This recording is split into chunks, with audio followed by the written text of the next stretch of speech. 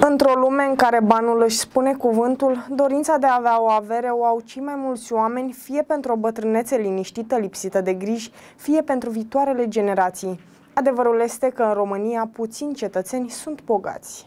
Un studiu realizat de Credit Suisse arată că doar 7% dintre români au avere în conturi sau în investiții în proprietate în valoare de 100.000 de dolari. Asta înseamnă aproximativ 1,4 milioane de români, adică destul de puțin în comparație cu alte țări europene. Credeți că românii cu minimul pe economie reușesc să strângă avere?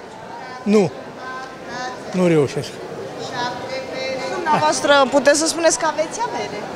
N-am. Am unde stau, o locuință. Nu cred că prea mulți. Foarte puțini care sunt economici, care se pun din uh, obligațiile de trai deoparte și pot să adună un bani, dar foarte greu. Foarte greu. Dumneavoastră aveți avere.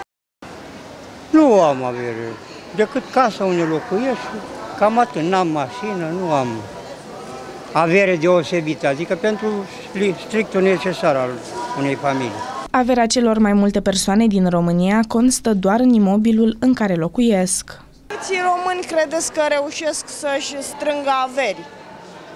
Care fac așa, ei au averi, dar noi ăștia care avem un salariu de mizerie, de unde să facem averi? Dumneavoastră aveți avere?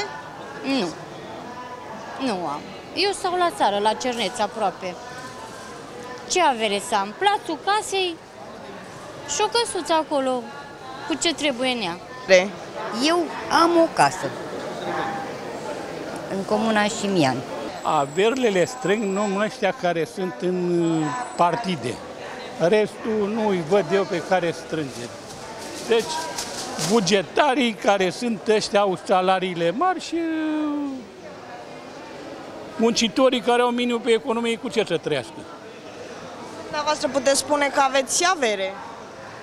Să am? Avere. Avere? Păi de unea, ce mi-a lăsat al bătrân. Sunt alții de au. Destul de mult, nu așa, nu numai averi, au și apartamente, au și multe dintre astea. Și așa că nu ne punem noi cu care au mai mult. Pentru dacă au, noi ce să le facem care nu avem? Averea în România este un termen care nu se regăsește pe buzele multor persoane. Un factor care influențează acest lucru este salariul mic din țara noastră. Cei mai mulți dintre cetățeni trăiesc de pe o zi pe alta și au bani doar pentru strictul necesar. Pentru generațiile tinere, a avea propria locuință a devenit un vis greu de atins.